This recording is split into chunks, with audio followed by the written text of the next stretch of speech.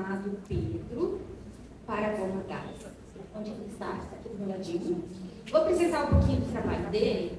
Ele é praticante de Bhakti Yoga há 49 anos, 50 anos na verdade.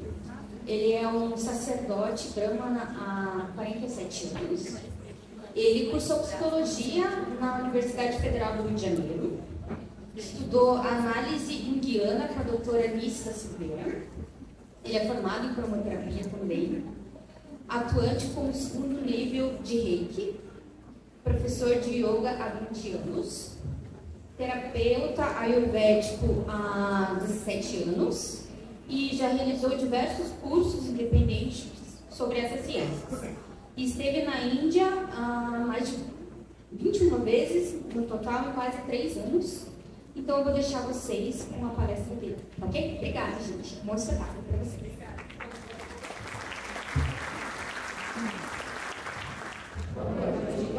Krishna. Uma grande honra estar aqui em Curitiba mais uma vez. O convite foi pedido do Jai. É, como ele, ela acabou de dizer, eu estou nesse caminho já há 50 anos, desde 73. Tem muitas pessoas aqui estão, vendo, não eram nascidos ainda. Né? Estavam pensando em nascer. Quando eu comecei a seguir esse caminho de Bhakti, da devoção, que é o caminho de Cristo. Né? Krishna é chamado Deus do amor. Né?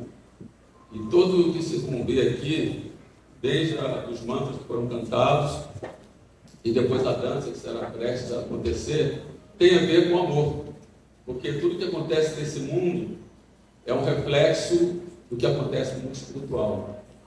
Nós estamos aqui nesse corpo, temporariamente, nesse país, né? nessa cidade, isso é temporário, mas no mundo espiritual tudo é eterno, pleno de conhecimento e bem-aventurança.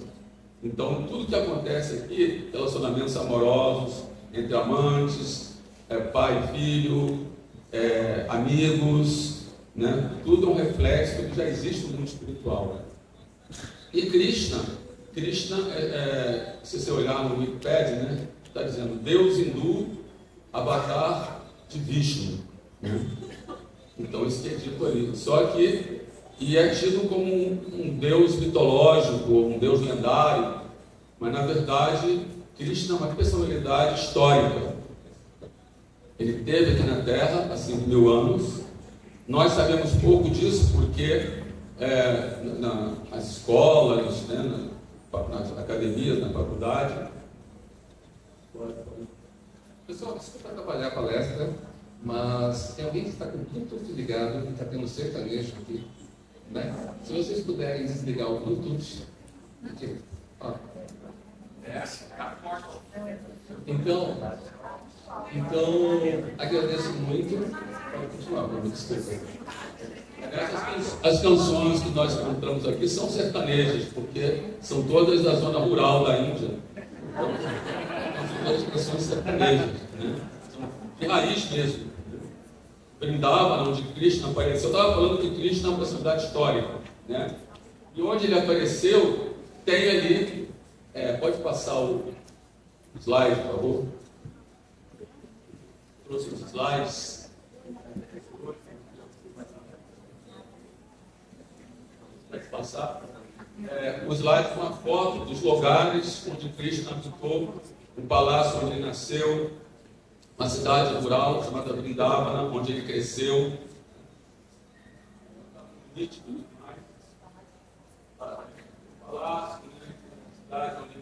Cresceu.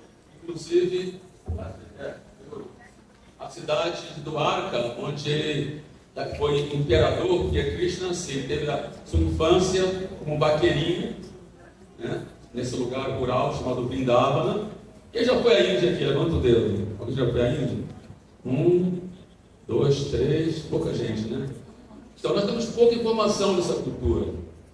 Né? Por exemplo, agora na, nas escolas está sendo assim dito que deve ser dado cultura afro.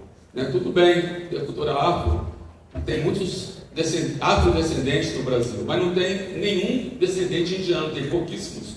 Né? Podemos contar com os dedos quantos descendentes indianos tem aqui. Então, é desconhecido, né? É uma cultura desconhecida aqui para nós, né? E, e assim, eu, por exemplo, no ano 73, né? Que eu era assim, amava os Beatles e Rolling Stones, aquela música, né? Assim, para mim era assim, algo todo desconhecido, né? Só que eu tive uma namorada chamada, chamada Cristo, né? Assim, por acaso, né? Nada, de, nada é por acaso, né? Eu fui numa livraria que eu estudava Jung com a doutora Nise da Silveira, não sei se alguém que conhece, tem um hospital com o nome dela, né? E eu fui pegar o livro de Jung e cheguei lá, estava lá Krishna. Ele é o nome da minha namorada. Eu não tinha nenhuma informação, nada. Não havia muitas academias de yoga, não havia. O vegetarianismo era uma coisa assim absurda naquela época. Né? E aí eu comecei a folhear o livro e gostei do que eu li. É exatamente o livro que está ali, a Bhagavad Gita. Né? A Bhagavad Gita quer dizer a canção do Senhor. Né? É, Gita quer dizer canção, e Bhagavad quer dizer aquele que é pleno de todas as opulências. Né? Mas como eu ia dizendo, é, por exemplo, os, os, arqueólogos agora descobriram é, de, debaixo d'água, em, em Duarte, que fica no noroeste da Índia, cidade submersa, que nos Vedas é descrita essa cidade, é lá no extremo noroeste da Índia, essa cidade está descrita por submersa. Que Cristo, como eu falei, na sua infância foi vaqueirinho, mas depois, como ele era uma família de reis, ele tornou-se rei nessa cidade. E a cidade é descrita assim, com muitos palácios, ele tinha muitas rainhas. E as pessoas falam, isso é uma lenda, é tudo uma lenda, é mitologia, mas está lá o local. Todo mundo, os, os, os cientistas descobriram debaixo da água e tem a cidade do Arca também. Então, todo está descrito nos Vedas, na literatura védica, que é milenar, tem na Índia os registros locais onde aconteceu a Batalha de Kurukshetra, é onde o Gita foi falado, né, o Bhagavad foi falado batalha, antes de uma batalha, né, que envolvia assim, milhares de guerreiros. E lá na Índia tem um campo de batalha lá, tem um local onde Krishna falou a Gita, porque os indianos são muito peritos em guardar registros. Né?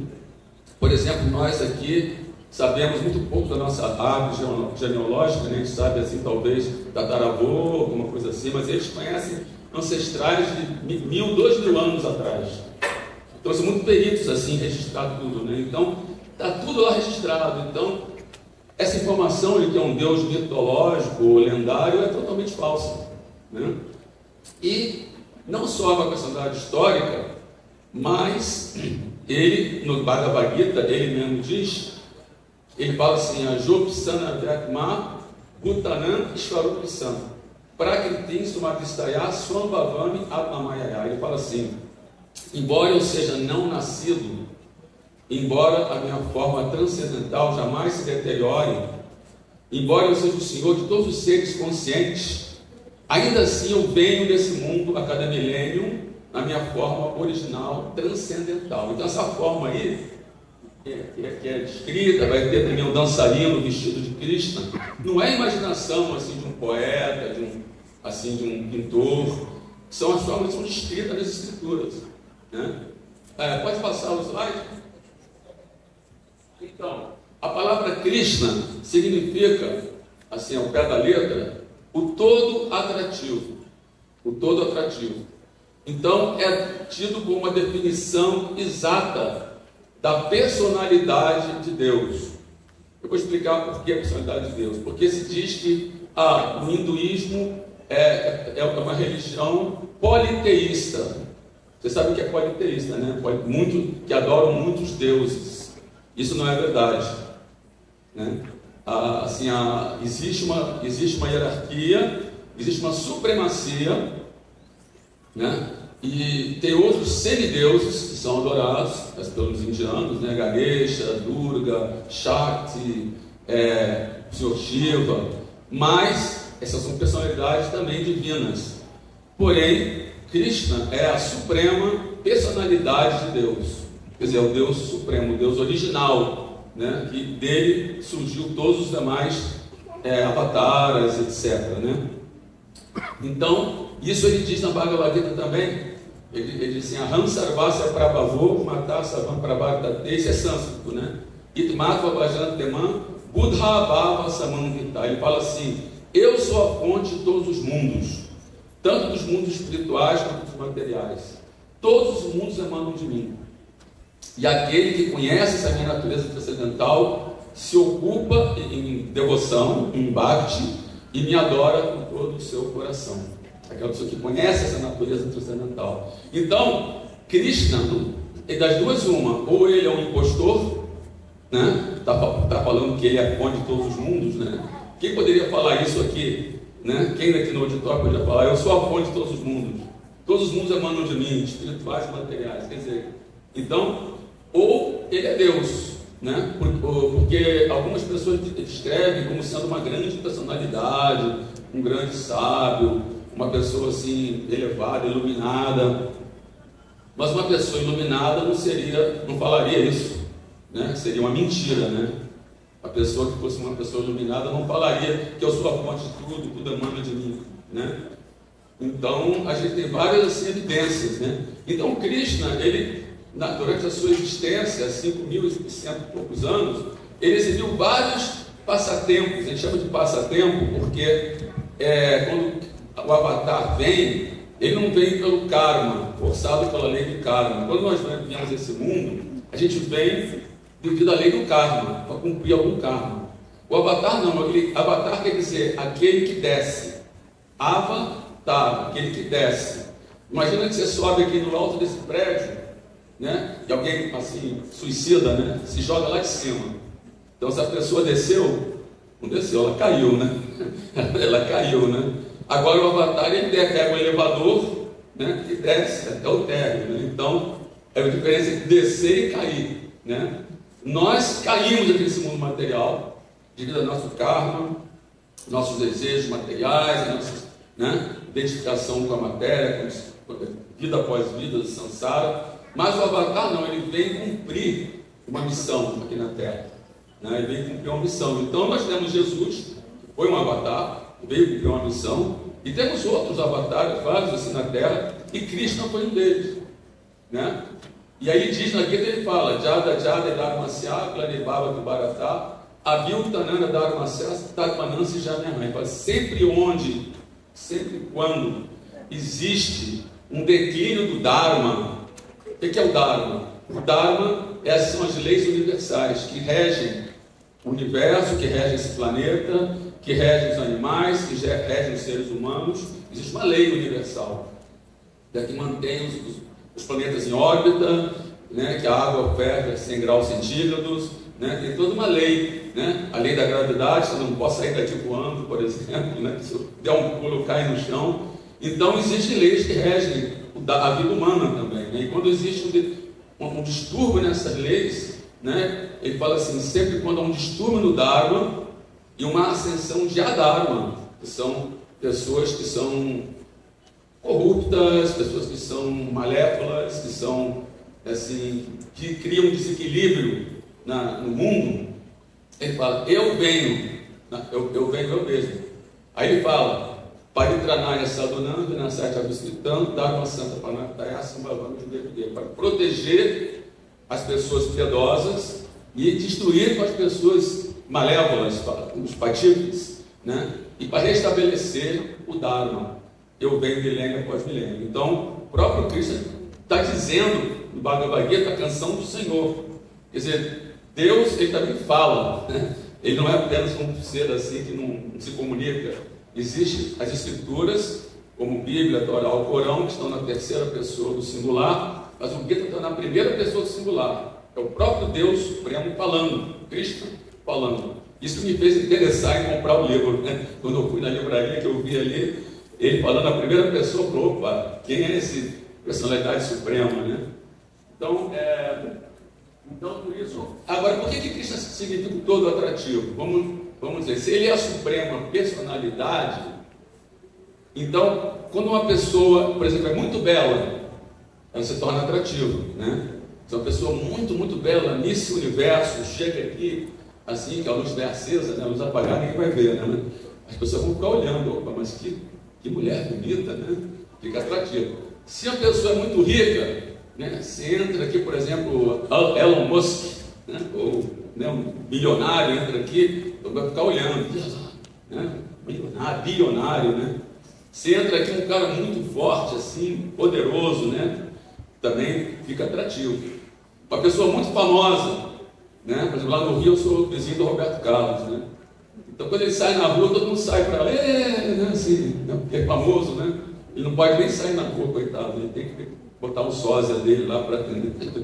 Então, por quê? Porque a pessoa que é famosa não tem sossego. Onde ela vai, né? É, todo mundo se atrai para aquela pessoa. Então, agora uma, a pessoa suprema, imagina, ela vai ser toda atrativa, ela vai ser toda beleza, toda força, todo conhecimento, toda fama, toda renúncia, né? Tudo que alguém possa possuir assim de opulência, ele tem completamente. Por isso ele é chamado Bhagavan. A palavra Bhaga quer dizer opulência. E Van, aquele que. Van é aquela. aquela, né, carro que vai pela rua. Van quer dizer aquele que possui. Então, Bhagavan quer dizer aquele que possui todas as opulências, completamente. Então, por isso que ele é descrito assim, como um jovem sempre novo, jamais envelhece. Eu me lembro quando eu era garoto, eu via assim, tentava botar a imagem de Deus, um velho assim, com uma barba branca, um cetro, e, e assim apontando, assim, castigando as pessoas. Não, Deus não é assim. Deus é um Deus brincalhão, alegre, né? Então é assim, sempre jovem, jamais envelhece. Quando ele falou Bhagavad Gita, ele tinha 121 anos. Mas assim, o semblante dele era de 17 anos, 18 anos. Então quer dizer, ele não, jamais está sujeito à velhice, nem à doença, nada disso. Né? Por isso é chamado doutor adaptativo. Pode passar? Pode passar o slide? Então, a suprema personalidade de Deus possui as seis opulências por completo, como eu falei lá, a beleza, a riqueza, tudo pertence a Ele, né? Tudo pertence a Deus, né? Tudo é, a gente pode pensar que é nosso, mas não é, porque a gente não tem. Quando a gente deixar esse corpo e vai passar para outra, tudo vai ficar aqui, né? Então, tudo pertence a Ele, na verdade, né? E ele tem toda a fama, né? tem toda, toda a força, né? todas as, as opulências que uma pessoa pode ter. Por isso é chamado a suprema personalidade de Deus. Tem muitas personalidades de Deus. Tem Shiva, Ganesha, é, Brahma, muitas, mas essas personalidades não são Deus com maiúscula, são Deus com minúscula. Né? São chamados semideuses. Né? É como, por exemplo, no, cristianismo tem, tem Deus e os anjos. Né? Os anjos também são seres divinos, mas não são Deus supremo. Né? Então, é, é, é, é, monoteísmo, na verdade, é enoteísmo, uma palavra pouco conhecida, que significa que aceitamos um Deus único, mas também aceitamos que existem outros deuses que estão assim, que são assim, como se diz, estão abaixo, né, hierarquicamente, desse Deus supremo. Né? Então, pode passar outro slide? Os slides não estão assim passando completamente, está assim, só a parte de cima, né? Então, é esse mantra que eu falei, né? Que eu acabei de falar, Ram Travasa Prabhavô, né? Que embora eu, é, eu sou a fonte de todos os mundos, espirituais e materiais, todos os mundos emanam de mim, e o sábio que reconhece essa minha natureza se ocupa meu em bhakti, né, em devoção, me adora de todo o seu coração. Pode passar outra? Então, é, essas, essas é, essa, essas imagens que vocês estão vendo de Cristo, né? Parece assim uma produção artística, né? Com a pena de pavão na cabeça, uma flauta. Então você pode imaginar quem foi o artista que pintou isso, né? Algum pintor assim imaginativo. Mas não, essas formas são descritas no Brahma Samhita. Brahma Samhita é uma literatura védica, aliás, a literatura védica é vastíssima. Se nós fôssemos colocar toda a literatura védica aqui e encher esse auditório todo de livro, mas não precisa ler tanto livro, né? Existem os essenciais, né?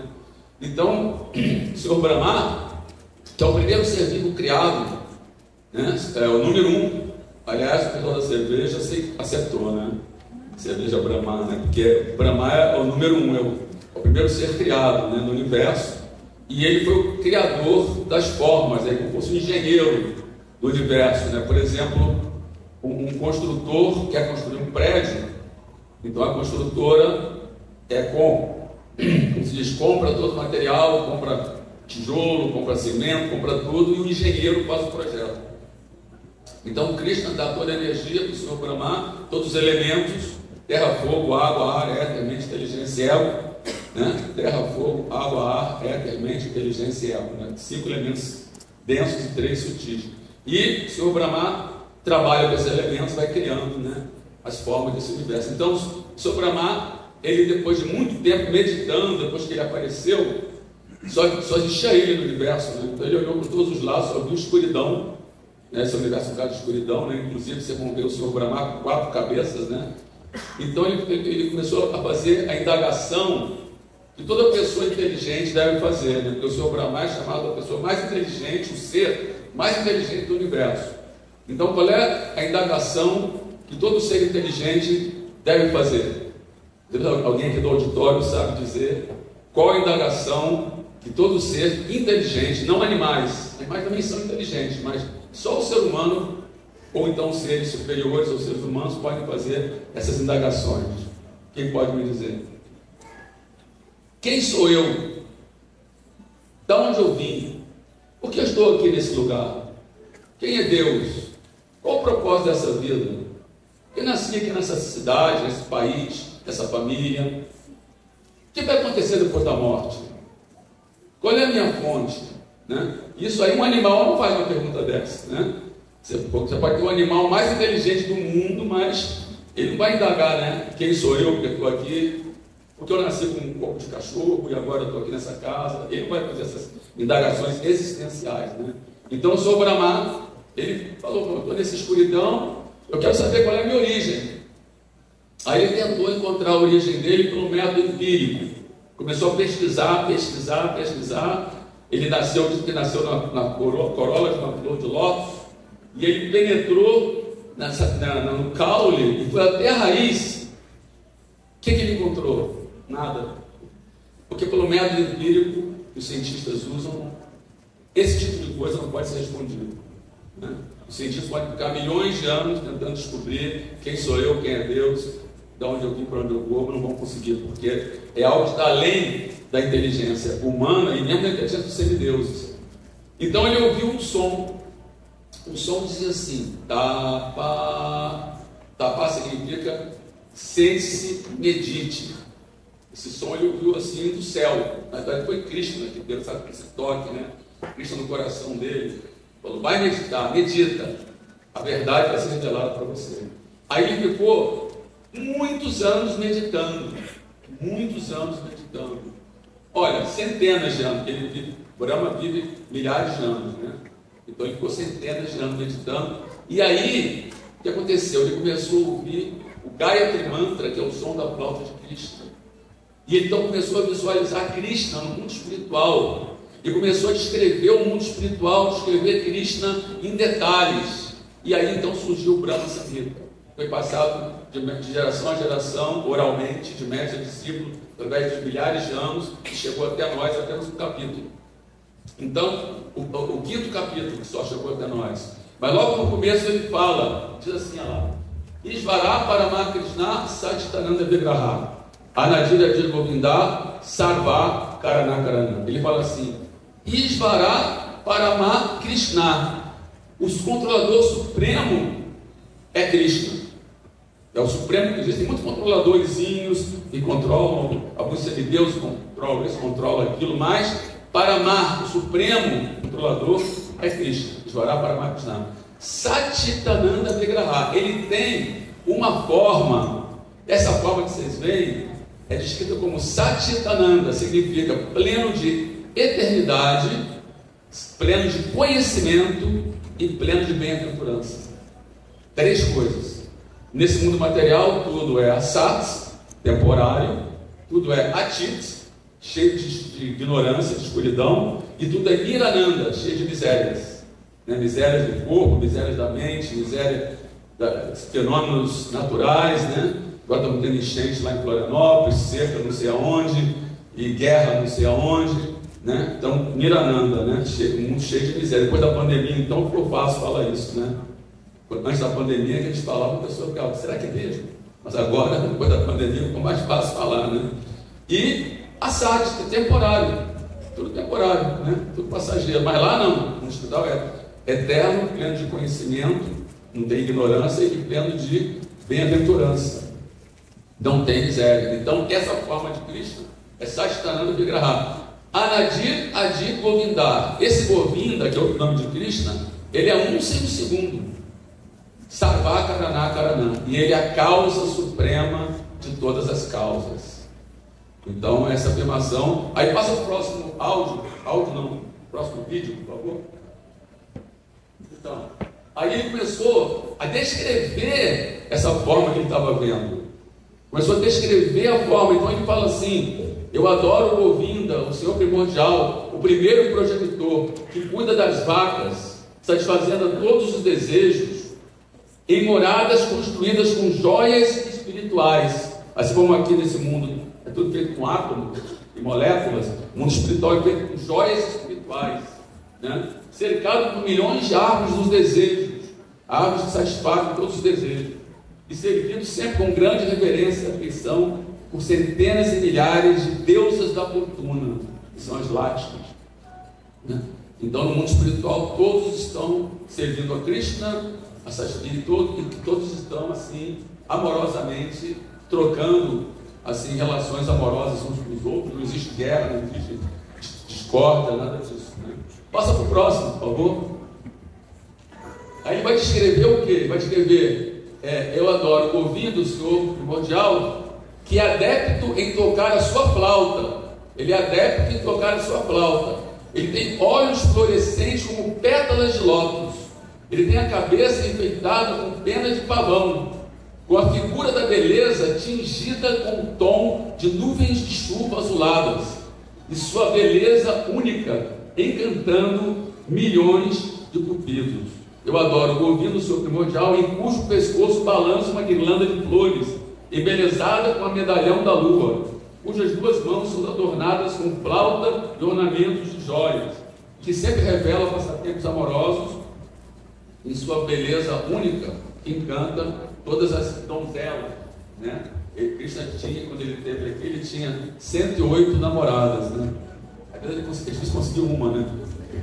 Ele tinha 108 namoradas. Né? Ele é tão belo que as, as mulheres ficavam loucas. Né? Assim, ele, a beleza dele era assim, totalmente cativante, hipnotizava né? as, as, as donzelas. Né?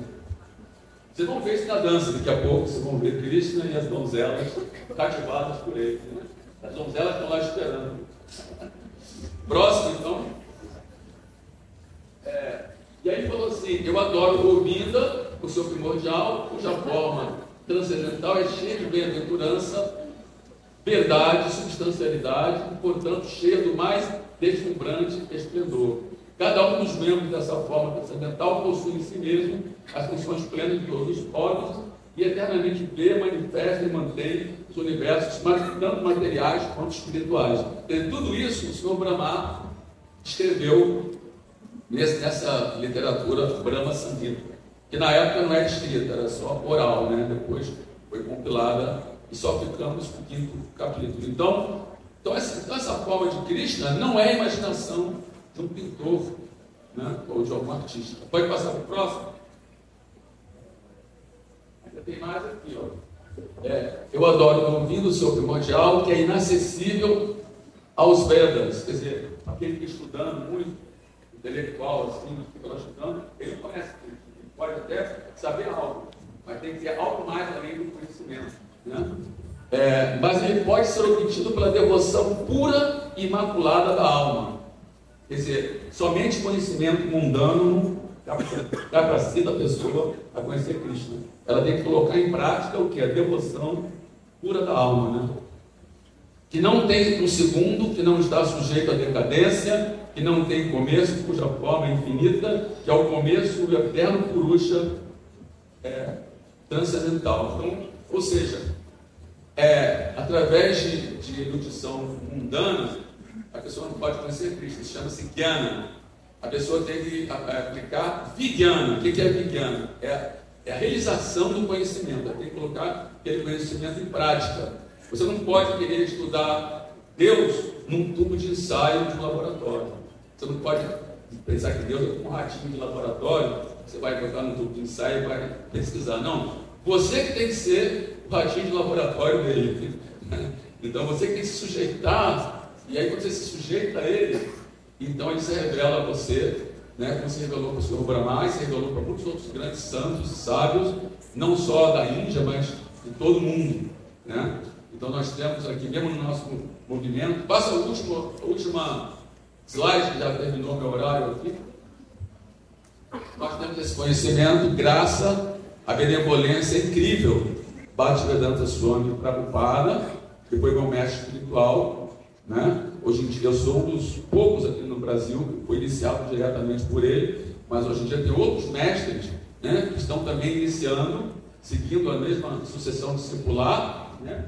E ele trouxe para o mundo, não, não só para o Brasil, o Brasil veio sete anos depois, mas para os Estados Unidos, Europa, Rússia, África, o mundo inteiro, esse conhecimento que estava velado por todo esse tempo. Né? Então nós temos que agradecer, né? Eu queria que se uma selva de palmas para.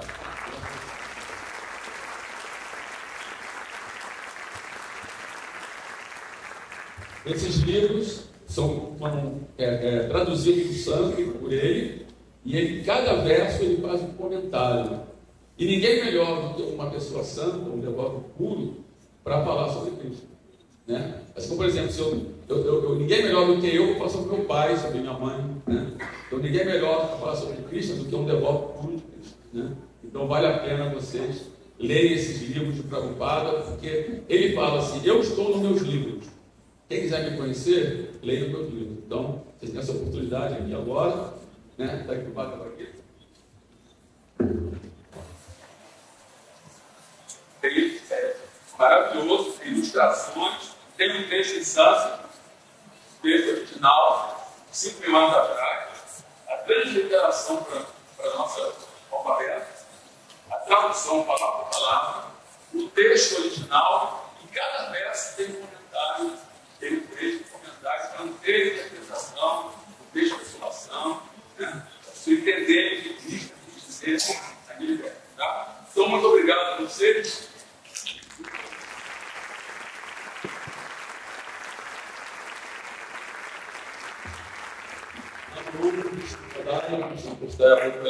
Bhaktivedanta Swami Nande, Namastê Saraswati Vive, Goravani Pracharini, Vishnavod Pracharini. Nascendo mais por ignorância, mestre espiritual, abrir meus olhos, com as olhos do conhecimento, eu ofereço minhas mais respeitosas reverências